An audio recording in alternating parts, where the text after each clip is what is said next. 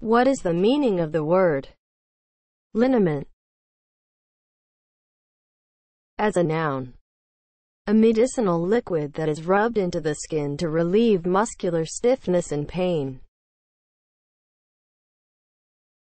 Liniment is spelled L I N I M E N T. Liniment